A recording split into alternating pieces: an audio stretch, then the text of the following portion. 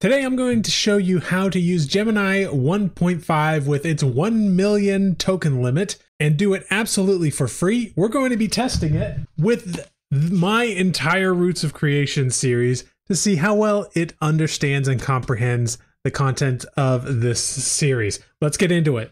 So the way to do this, at least for now, is to come over here to Google DeepMind's webpage, which is located at deepmind.google.com slash technology slash Gemini which I will link down below. And then what you want to do is scroll down here to where it says Gemini 1.5 and say try Gemini 1.5.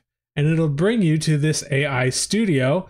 And I've already logged in, but if you haven't, if this is your first time, then you'll have to log in with your Google account and then you'll be able to get started. Now, I've already done a, a bunch of testing here, so you'll be able to see a little bit of what I've done. I started, of course, by taking a my entire Roots of Creation series, uh, which is eight books, as I showed you over here, plus a novella, and basically put the entire thing in here and asked it to basically, I said, given the attached books, write a thorough character profile for the character of Jack using the following template. I gave it a big template that I use for my character profiles, and it spat out this whole thing and it actually did a good job. It was pulling in bits of information from all over the story. It got her description correct. At some points, it uh, was like, for instance, this these distinguishing marks: Gifter brand on her left hand, Healing Strength, Flame Dancing, and Thunder brands on her right arm, and over a thousand anti-void brands covering her back.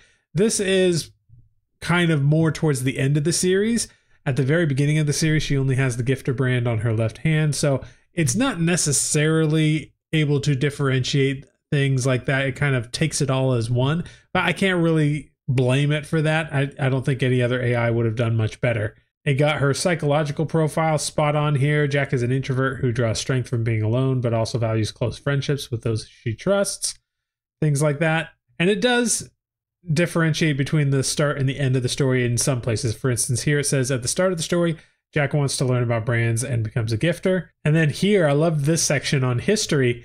It basically give each line here is a very important event in her life. And they come from all over the books. Like, for instance, this one, Jack created Illidan, a new planet for humans and Fae to live in peace, happens in book five out of eight. So it was able to pull that from the middle of all of those books, which is impressive. Then I asked it to make a complete and exhaustive list of every single character in the series, and it actually did a really good job here as well. It pretty much named every single named character inside of the series. I'm sure there are probably a few more, but just from my own recollection, I can't remember any other named characters other than the ones that we have here and it conveniently grouped them into main characters. Drac, uh, we got Jack, Seth, Name, and Skellig, and that is spot on. They they definitely I would say are the main characters. Skellig maybe is more of a secondary character, but she does have a big role. And then we have this list of secondary characters, which is all really good. The minor characters, some of these minor characters I feel like could belong under secondary characters, but for the most part, this is accurate. And then antagonists, we have Kane, Queen Telma, and the Royal Priest and Vander. I liked this one. Initially an ally, he later turns against Jack and the humans. He is killed by Gerwert. That happens in like one chapter in book six. And so I'm really impressed that it was able to get that just from that one little chapter very, very good at retrieving information here. And then I said, now look for any and all references to time passing and create a comprehensive timeline of the events of the series. And this one, it didn't do quite so well.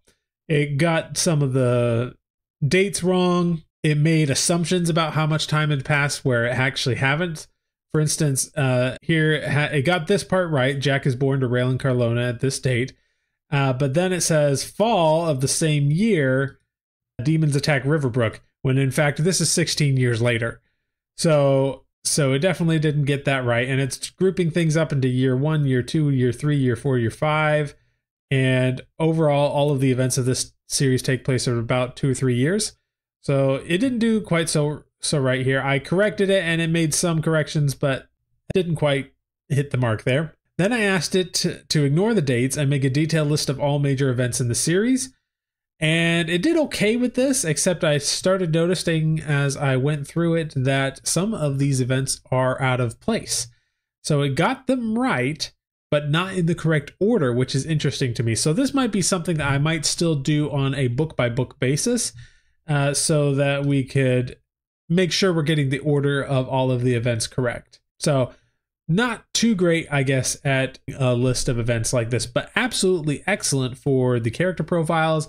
I'm sure it would be great for world building documents, anything that you want there, anything that you want for, say, bonus content for readers and things like that. You could easily use this to do. Now, just to touch on it, I want to make sure we talk about the settings here on the right. Uh, right now, if you want to access Gemini 1.1, you need to make sure that this is selected as Gemini 1.5 1.5 rather. Gemini 1.5 Pro. You can also select Gemini 1.0 Pro, which is, I believe, the version available in in Gemini Advanced, or it could be the free version. I'm my memory is failing me at the moment. If you're using 1.5, it doesn't give you control over the temperature, which is interesting. But there is this interesting safety settings where if you select this, you can actually tell it how sensitive you want it to be to things like harassment, hate speech, sexual uh, explicitness, and dangerous content. I, of course, because we're doing like a fantasy series here that has violence and things, but all within the context of a fantasy series, I turned all of these down. It did seem to help. And once again, for Gemini 1.5, you can't really modify things, including the top P. You can't modify that here. So you pretty much have to use the settings that they have. So the next thing I wanted to test was a prompt in Novelcrafter. If you're not familiar, you can actually in Novelcrafter come and when you go to generate prose, you can basically go here and say preview final prompt and then copy the entire prompt exactly as it is here into your clipboard. And then you go over here and you can paste it into any chat tool that you like as long as it can handle it.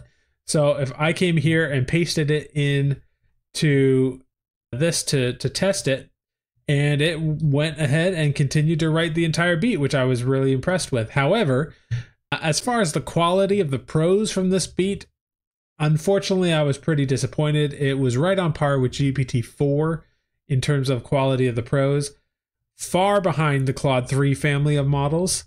And to test this to make sure that there wasn't an easy way to get it to, you know, write in my style, I did another prompt, and in this prompt, I gave it my in, an entire book. I gave it the first book in my Roots of Creation series, and then told it note that the attached file is an example of my writing style. Please write in a similar style.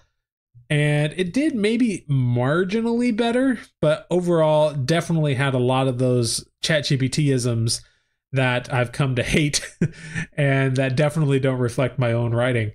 So Still not great on the actual style of the prose here, but overall not too bad uh, in other areas of use, particularly for being able to identify things within your manuscript. Interestingly enough, it looks like within the Google AI Studio, you can actually fine tune models.